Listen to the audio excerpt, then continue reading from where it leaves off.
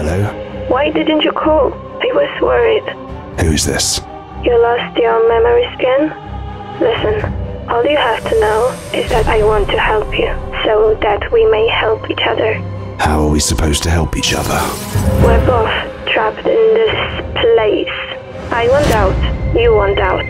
At least you did, last we spoke. Somehow I don't trust you yet. I can live with that. Don't get caught.